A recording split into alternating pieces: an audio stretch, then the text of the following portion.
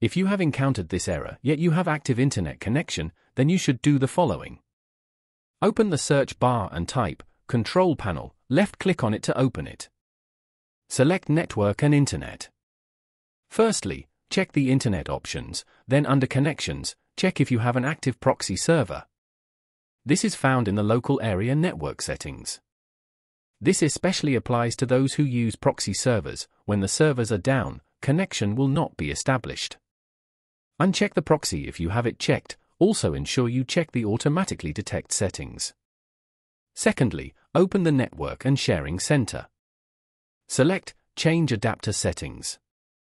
Right-click on the network you are currently connected to and select Properties. Locate the Internet Protocol version four in the list, click on it then select Properties. We are going to manually input the Google DNS server address.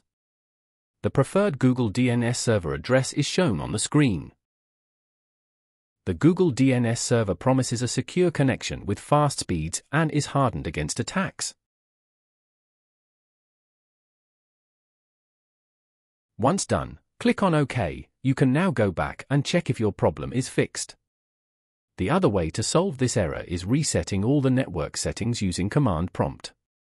Type CMD on the search bar and click Run as administrator.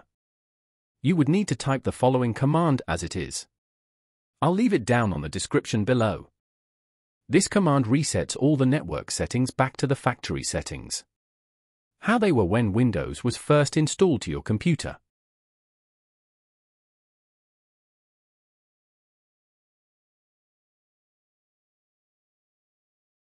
There is also a second command which resets the network catalog. I'll also leave it down on the description below.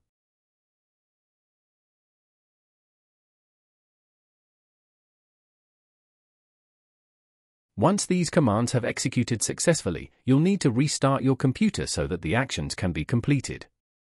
I hope this helps.